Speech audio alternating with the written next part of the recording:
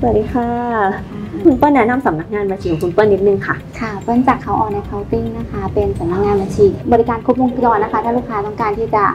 ตั้งบริษัทจดเลิกบริษัทหรือศึกษาทางภาษี การวางระบบบัญชีอะค่ะ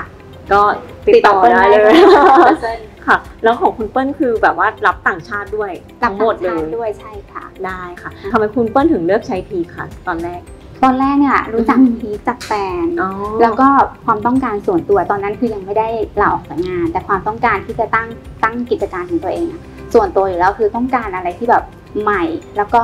ออนไลน์ แล้วก็ทำที่ไหนก็ได้ ซึ่ง PEAK เนี่ยเหมือนเป็นจุดที่เรา test แล้วอะค่ะ แล้วเราคิดว่าเออ PEAK PEAK ใช่สำหรับเราค่ะค่ะแบบมี feature ไหนที่โดนใจทำให้รู้สึกว่าโอเคเราจะใช้ PEAK แล้วอย่างเงี้ยค่ะถ้าโดนใจเลยอืมเยอะมากจากประสบการณ์ที่เคย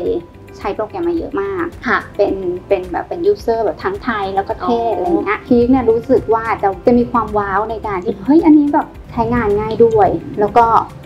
แบบเหมือนผลลัพธ์ที่ออกมา report ออกมา คือมันมันมันแสดงได้หลายมิติอะอย่างเช่นแบบถ้าถามว่า feature ตัวไหนก็น่าจะเป็นตรงอ่า tag การติด tag อ๋อซึ่งการติด tag เนี่ยคือแบบมันโชว์ project นี้กำไรเท่าไหร่จาก จากอะไรอะช่องทางนี้กำไรเท่าไหร่ได้เลยอะค่ะอ๋อค่ะ แล้วก็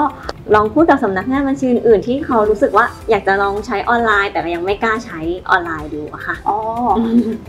จริงๆ ออนไลน์ดีมากค่ะ ชีวิตดีขึ้นมาก แล้วก็โปรแกรมบัญชีออนไลน์ของพีกอะค่ะ ถ้าเปรียบเทียบราคาคุ้มแบบคุ้มเลยคุ้มมากถ้าตัวอื่นๆที่เคยใช้มาในอดีต แล้วก็ง่ายการเรียนรู้หรือไม่ต้องกังวลเรื่องของการที่จะต้องมาพัฒนา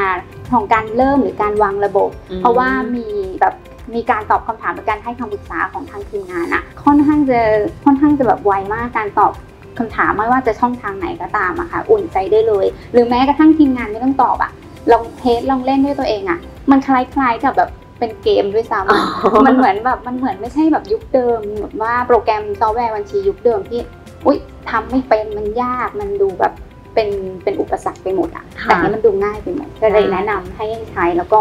เรื่องหลักฐานว่าเราจัดเก็บ อาจจะไม่จำเป็นต้องเป็นกระดาษอีกต่อไป จัดเก็บข้าง